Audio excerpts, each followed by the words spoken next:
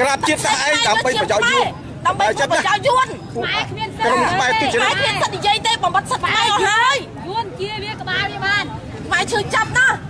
ទឹកប្រទេសខ្មែរហូរវាជាខ្មែរហូរសូមវាលនាបងបងប្អូន